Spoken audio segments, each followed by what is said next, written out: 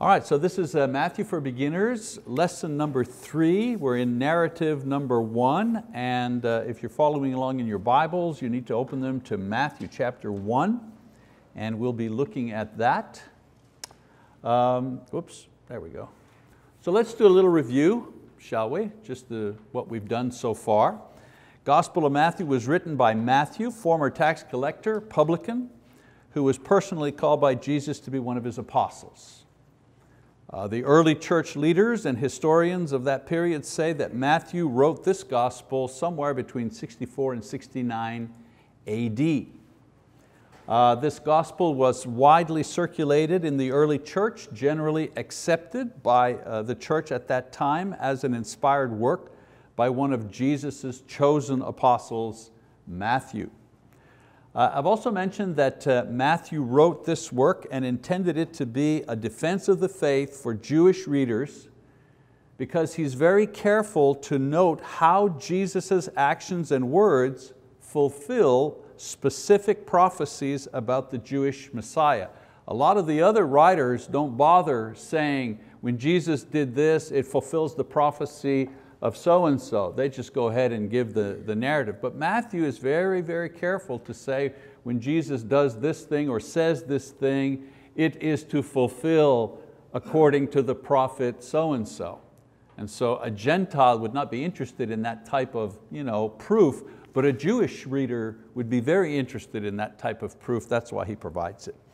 He's also careful to answer potential questions that Jews would naturally raise you know, concerning the Sabbath and the, the manner that Jesus was executed. He was crucified and for a Jew, someone nailed to a tree, you know what I'm saying? This was a curse. So he's careful to explain that this is done again according to what was said concerning the Messiah. Uh, we also noted that Matthew's work is extremely well organized, consisting of six narrative sections. Remember I said narratives are when someone describes, he went here, he said this, he did that, so on and so forth, uh, alternating with five discourses. The discourses are conversations, dialogue, monologues that Jesus has. So you have a narrative, a discourse, a narrative, a discourse, a narrative, a discourse. Very well organized work.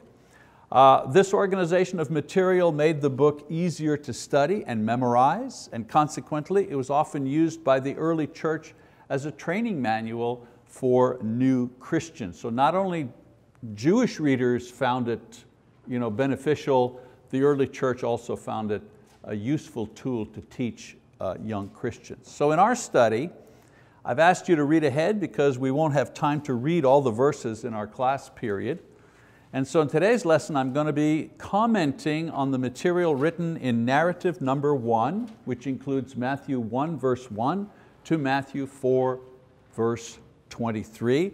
And I hope that you've already read this on your own. So let's start with uh, narrative number one, which talks about the genealogy of Jesus. Matthew chapter 1, verses 1 to uh, 17.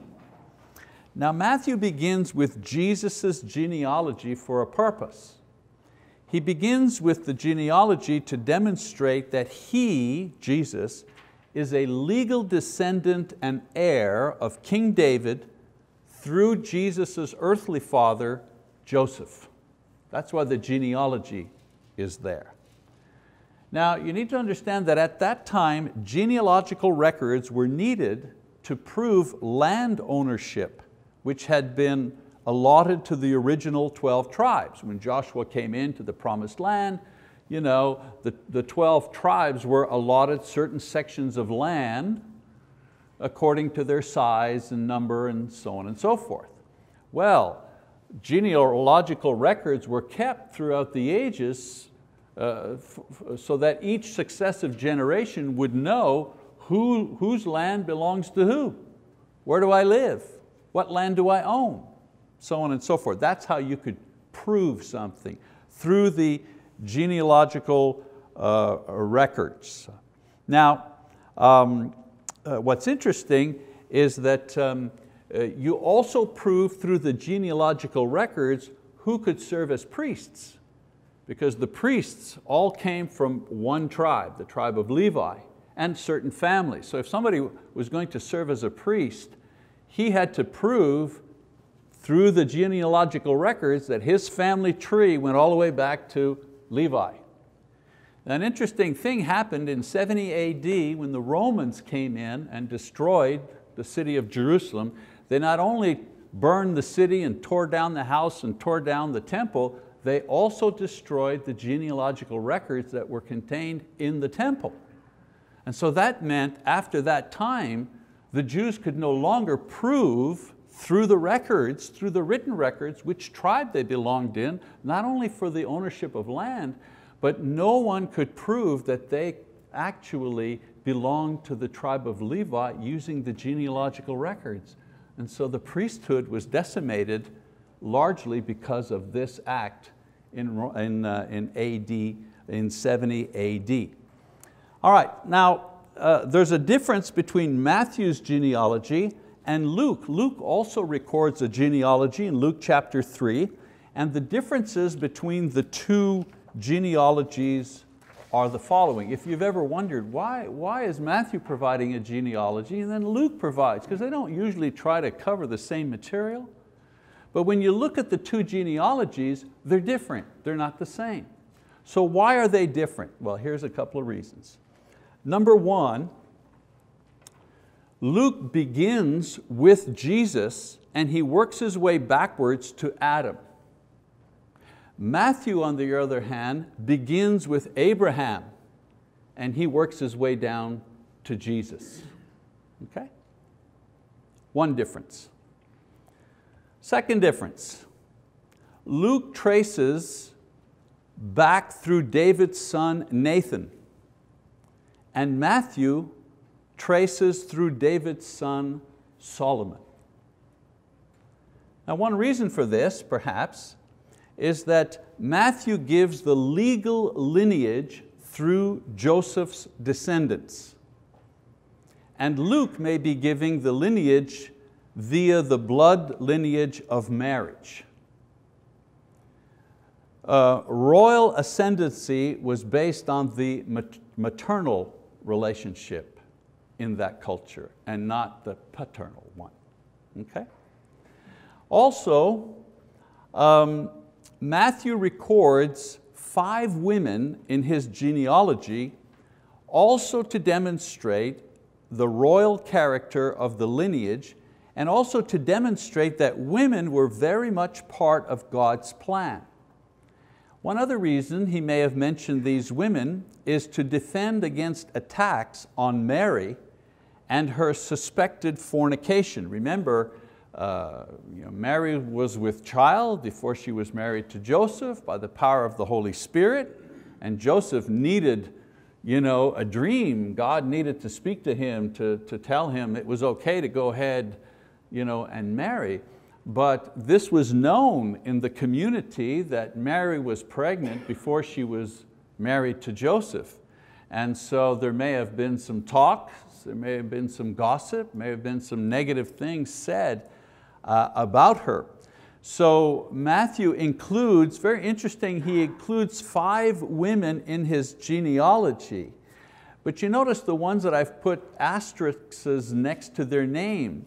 Uh, Tamar, for example, uh, what did she do? And what did Rahab, what was Rahab? And, and, and, and what did Bathsheba do? Were these upstanding women? If I recall, Bathsheba was the woman who slept with King David while she was married. Now we know by that story that you know, the king seduced her, but nevertheless, she was a, you know, she was a marked woman. She is not a woman of uh, uh, high moral character, let's put it that way. And Rahab, you know, what was Rahab's profession? Well, she was a prostitute. And Tamar also had uh, a relationship with her father-in-law. So what's Matthew doing here? Well, Matthew is showing that God used even women who had been guilty of fornication, yet He used the, these women anyway in bringing Christ into the world. So if he would use women who were guilty of fornication, certainly he could also use a woman who was accused of being guilty, Mary, but in fact was not guilty. So it's a way of kind of tempering any type of uh, negative uh, talk concerning the mother of Jesus uh, who was uh, pronounced as the Messiah. All right, so let's go on, to a little preliminary stuff. Let's go on to the announcement of the birth, that would be the next heading. Chapter one, verses 18 to 25. So you see how I'm doing this? I'm doing the narrative and then I'm hitting the big, you know, the big uh, points here and commenting on, on each and allowing you to kind of fill in the notes here. So Matthew claims that this is a fulfillment of prophecy found in Isaiah 7:14, the idea that the, uh, the, the, the, the birth of Jesus is announced. Matthew begins immediately demonstrating how every facet of Jesus' life was in line with everything spoken about the Messiah by the prophets.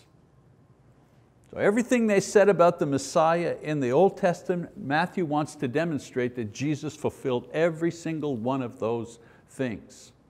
All right? I want you to note also that in verse 25, Matthew says that Joseph kept Mary a virgin until the birth of Jesus. And so just the way this sentence is put together, it assumes that this was not to be the case afterwards.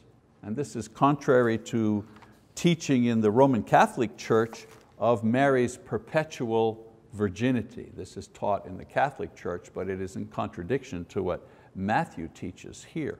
Actually goes out of his way to say that she was kept a virgin until the birth, uh, which assumes, and of course we know in Mark, Jesus or you know, uh, Mark mentions the name, the people name the names of Jesus' brothers and, and mentions that uh, the sisters that he had lived in that town. All right, the next um, heading is the wise men, right? Genealogy, then birth, then wise men, Matthew 2 verses 1 to 12. The term Magi, I think that's the, I've, I've toyed with a lot of different pronunciations in English, uh, looked at all kinds of books. You know. Magi is the, the closest one I can, I can come to. The Magi refers to a class of priests and counselors and astrologers who served as royal counselors in Persia. Uh, so Maybell was asking me that before and uh, she was uh, accurately describing them. Uh, they were interpreters of signs. So through, they, they interpreted signs for the kings and for high government officials. And they did this through magic arts or divination.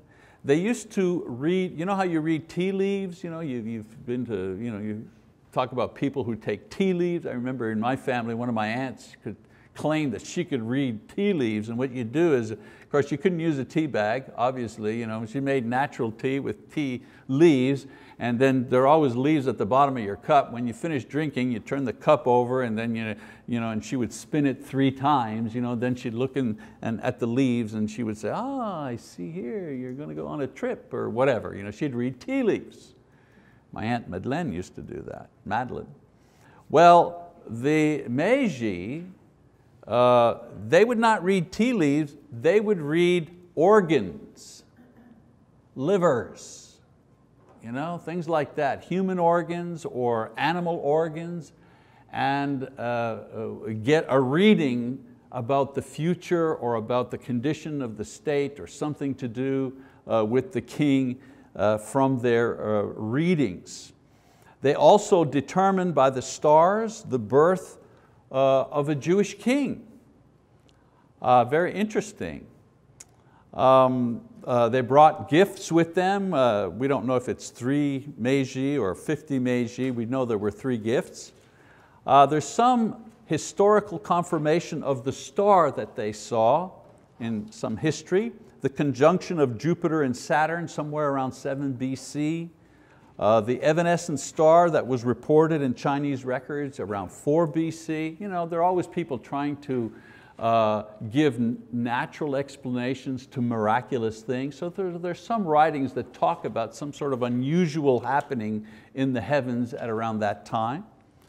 Um, these Magi were ignorant of Herod's political situation. Herod was the king at that time, very evil man. We need to note the fact that the exact location was not determined by the star, but by the word of God. The star was a sign, but it merely confirmed the word because when they wanted to know where the, uh, the Messiah was to be born, they didn't look at the star and try to figure that out. They went to the word. They went to Micah chapter 5, verse 2. And in Micah chapter 5, verse 2, they found that the prophet had said that the Messiah would be born in Bethlehem. Okay?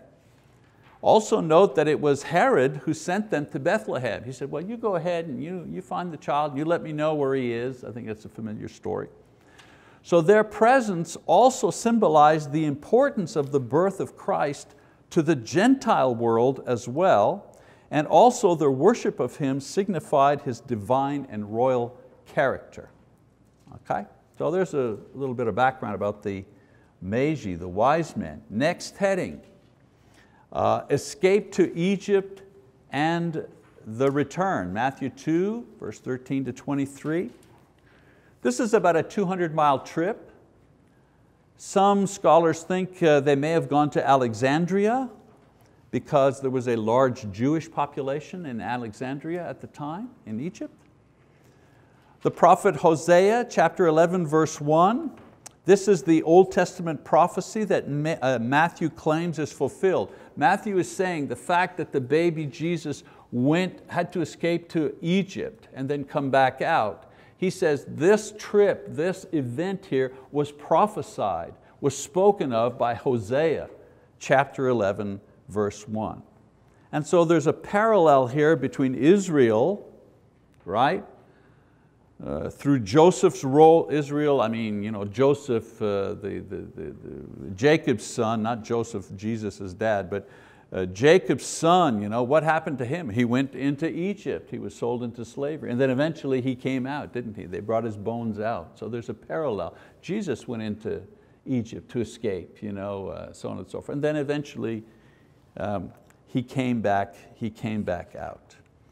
Now, uh, it's mentioned in Matthew that Archelaus, who was Herod's son, um, uh, was on the throne. So Herod dies, Joseph and Mary figure, okay, it's safe to go back because they, they were told to escape while Herod was there because Herod wanted to kill the, the baby. Herod dies, Joseph decides to go back.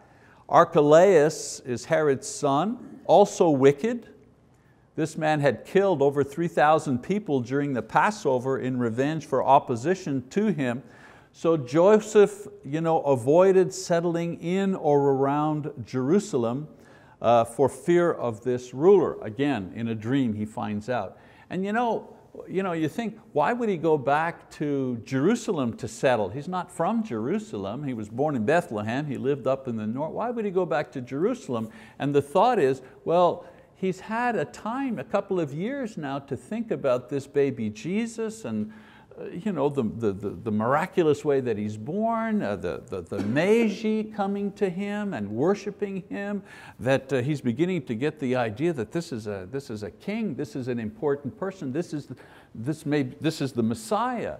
Well, you know, if you're a dad and you're in charge of the Messiah, where do you think is a good place to settle and live? Well, if it was me, I figure, well, we might as well go live near the temple we might as well go live at the center of Jewish religious life. I mean, if my son is going to be the savior, you know, surely this is where he needs to be.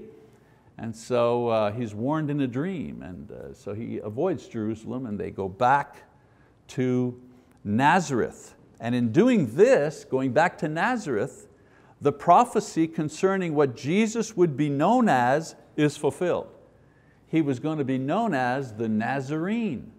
But he wouldn't have been known as the Nazarene had he settled in Jerusalem. So you have the wisdom of man versus the wisdom of God here. Okay? Interesting also is that the term Nazarene ultimately became a term of derision by the Jews in reference to Christians. The Talmud calls Jesus, remember we talked about the Talmud, you know, uh, uh, uh, writings that comment on the Torah, which is the law. Okay? There were Jewish writings, commentaries. In the Talmud, when they refer to Jesus, they refer to Him as the Nazarene. It's like calling somebody by their last name.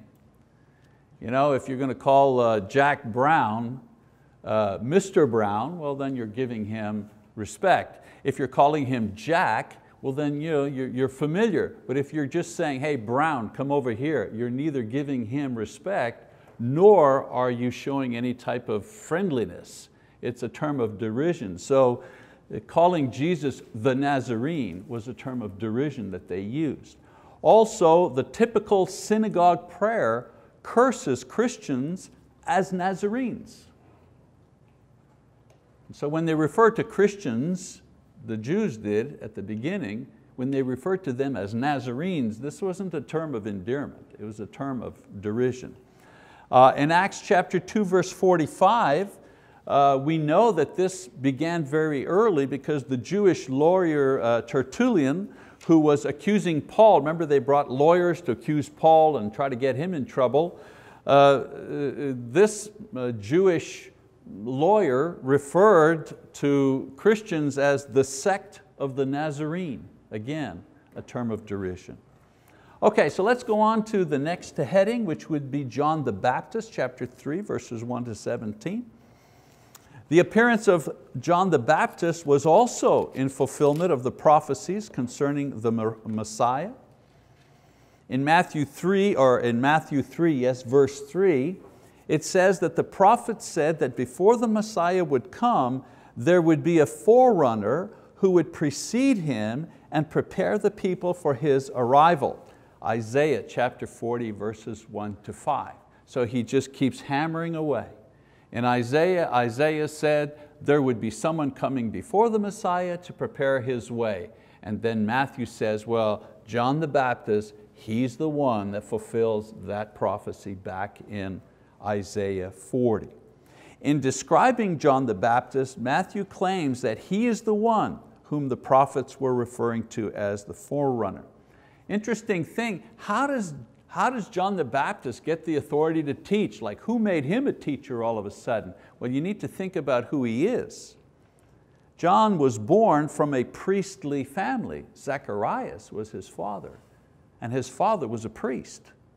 And so his right to preach and teach was never questioned by the Jewish people because he was the son of a priest, but he did not take the, the normal pathway that the priests took, serving at the temple and so on and so forth. He took another uh, direction, all right?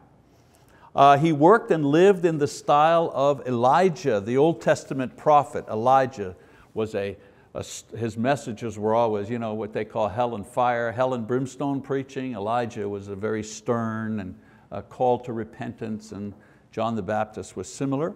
Some people believe that Elijah would indeed return and Jesus tells the people in Matthew 11 that John was the embodiment of this prophet.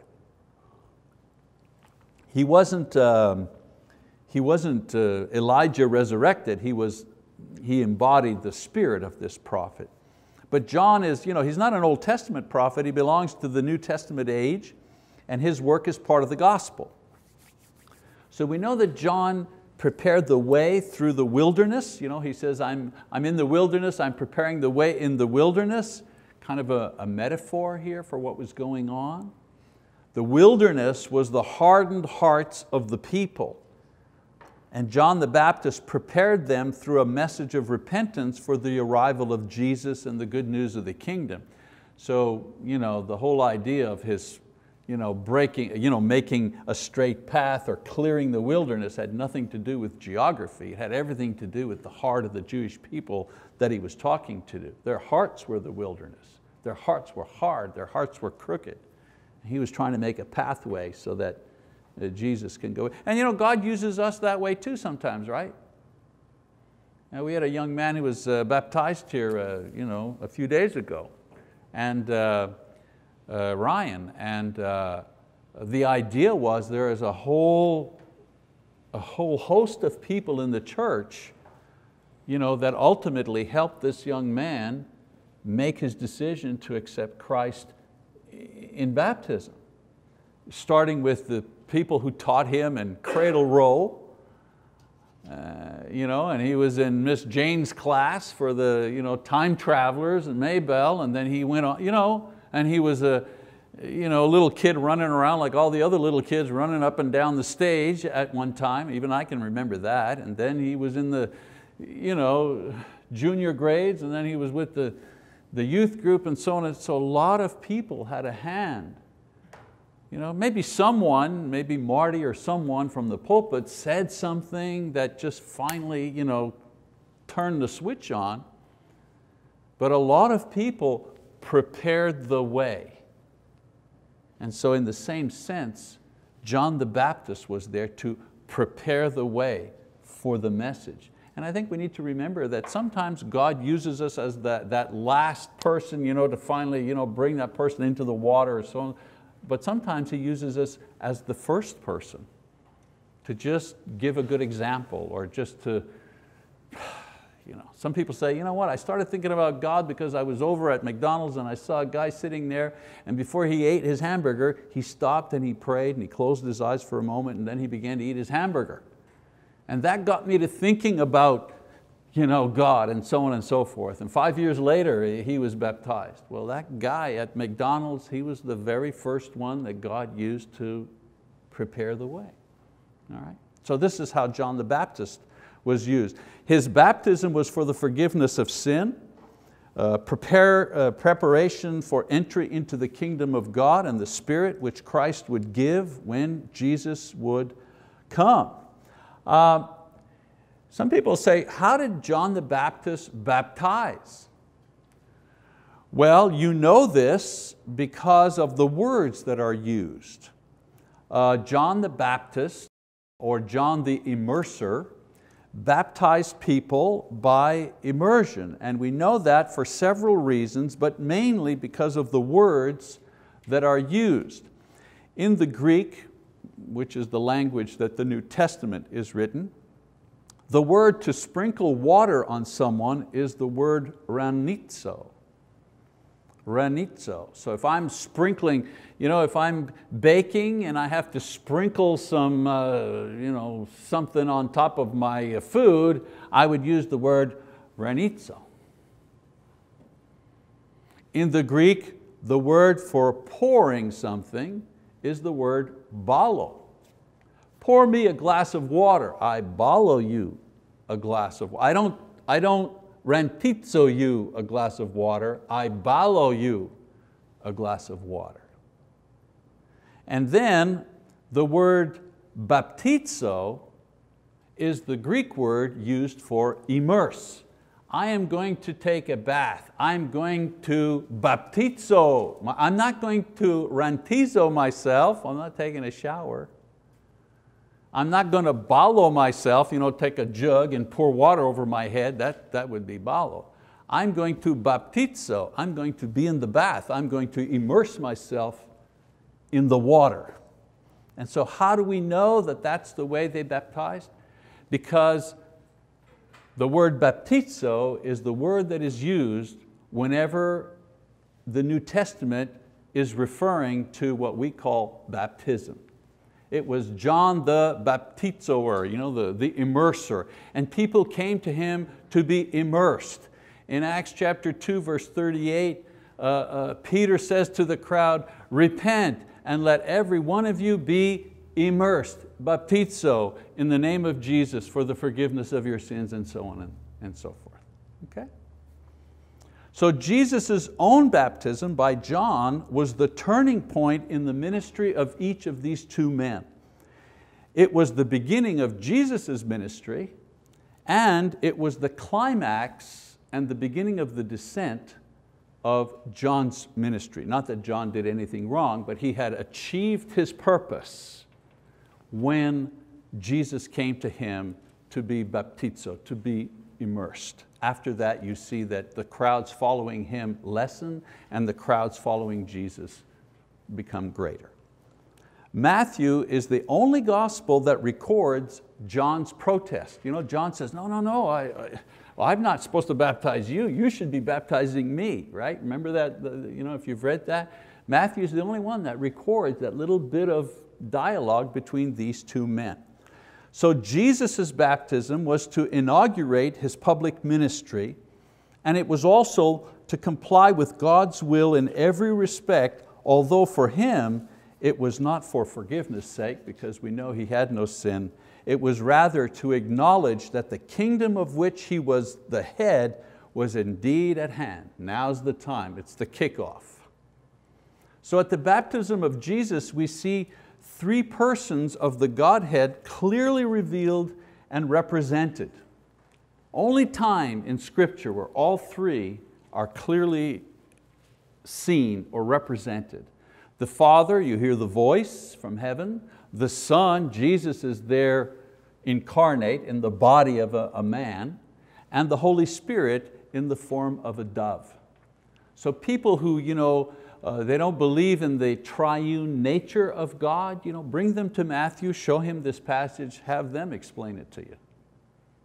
Then why is God represented in it? Is Jesus God? Well, yeah. Uh, uh, the voice from heaven, the Father, is that God? Well, yeah. Well, how about the Holy Spirit, the dove, is that God? Well, yeah, so what's your point? you know, how do you explain that? Well, we, we don't have all the words, but we use the term the Godhead. Okay? So it is the climactic point of this narrative right here at this spot where the deity of Jesus is presented so clearly and it's the culmination of Old Testament prophecy about the initial appearance of the Messiah. I need to move just a little more quickly. Let's go from there to the next heading, which would be the temptations, Matthew 4, verses 1 to 11. So Jesus is led by the Holy Spirit into the desert to be tested by Satan.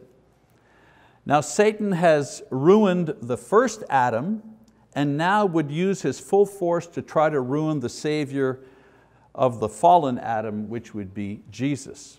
He was tempted for 40 days, during which time he did not eat, and of which we have three recorded. We only see three of the temptations, but he was tempted for 40 days. But Matthew, the Holy Spirit just gives us information on three temptations. Three recorded temptations we see Satan doing various things. In the first one, he casts doubt upon God's word concerning Jesus' sonship and he demands that Jesus supply proof beyond God's word by supplying for his own needs. In other words, if you're God, you know, if you are God, prove it to me, turn these stones into, into bread.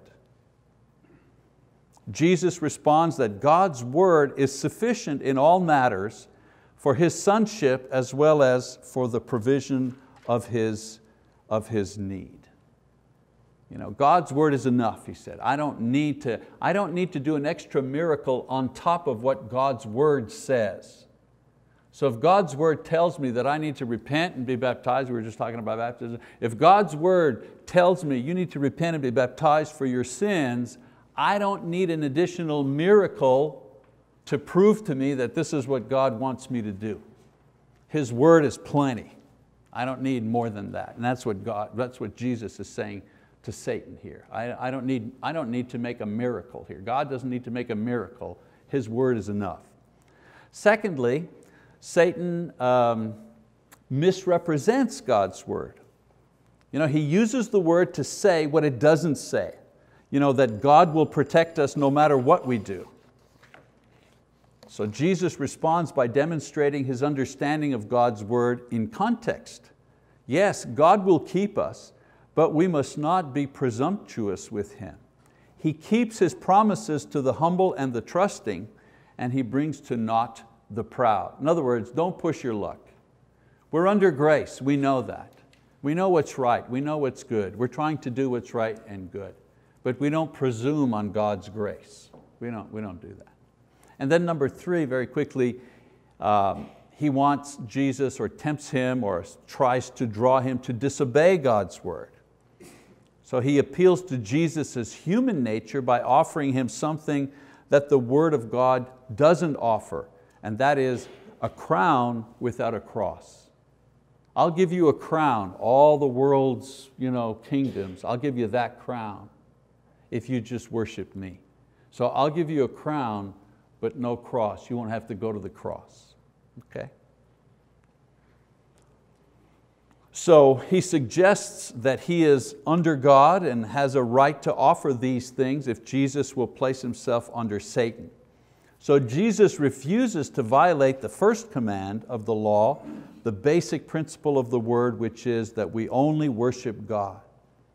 And so Jesus rejects the word of Satan for the word of God, uh, and um, uh, even if it means his own, even if it means his own death. And sometimes uh, rejecting Satan and accepting God's word also means our death, not necessarily our physical death like we die, but maybe the death of a certain pleasure that we shouldn't be having, or the death of, of, of, of something that we wanted but we shouldn't have. We have to accept sometimes that you know, in doing God's will, it will mean that it'll cause us some suffering of some kind. You know. No, no, you know the old, the old saying, right? Uh, there's no cross, uh, you don't get a crown unless you go to the cross. You know? And we're the people of the cross, not the people of the crown. The crown comes later. So with his greatest temptation spurned, Satan is defeated and Jesus victoriously orders him away, after which the angels tend to his needs. You ever wonder, what were his needs? Well, he didn't eat for 40 days. How about that need? How about the fatigue? right? He was a man. All right, the last um, heading is uh, Matthew talks about Galilee and the disciples, chapter 4, 12 to 25. So by this time, John is in prison, he's beheaded. Jesus himself goes north to the area around the Sea of Galilee. And this, Matthew says, is the fulfillment of another prophecy in Isaiah 9 verses 1 and 2, saying that the Messiah would be from that area and that area would have a great light. Okay? So he begins his preaching around the area where he grew up. And that what he's preaching is pretty much the same message that John the Baptist is preaching. Repent, for the kingdom of heaven is at hand. That's the message that Jesus, you ever wonder, what, what, what was Jesus preaching? Well, he was preaching what John was preaching. Right? Um, he builds upon John's ministry. Uh, he calls particular disciples to train. He preaches away from Judea to the Gentiles. He goes inside of synagogues. He performs miracles. All of this done uh, in Galilee as he begins his uh, very public ministry. So Matthew's very first narrative establishes Jesus' genealogy, His birth, His lordship, and His ministry all in four very short chapters. Okay? All right, so that's the first lesson. So let's, let's kind of understand how we're doing this. Next week, I'm going to do discourse number one. So that means you, if you have the time and the inclination, will read Matthew 5, 1 to Matthew 7, 29, and then on the sheets that I've given you tonight, you will list the headings, try to list the headings, you know, the subjects, the things that I'm going to be talking about, and also keep a little record of the things that you discover on your own, call them little gold nuggets, and then next week I'll give you another sheet and you can compare what you've done and what you've listed to what I have uh, given you. Again, this is a little different type. We always say Bible study, but this is really a Bible study. You actually have to study. You actually have to read and do a little bit of work. It'll be good for your soul and good for your spirit. All right, let's stop right there.